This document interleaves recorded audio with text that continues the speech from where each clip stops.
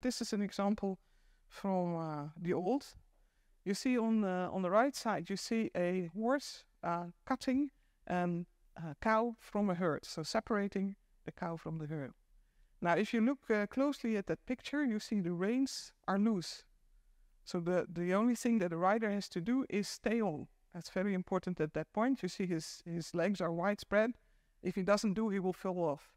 The cow jumps back and forth so quickly there is no way that at that speed you can still direct the horse with your uh, legs and, and, and reins to make the appropriate moves to separate the cow from the herd. So you have to release the activity to the horse.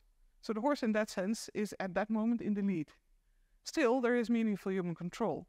You see, the eyes of the human is on the cow, and whenever the human thinks, "Okay, we're done with this," he can give a signal to the horse, we're done, and we step out of it and we do something else.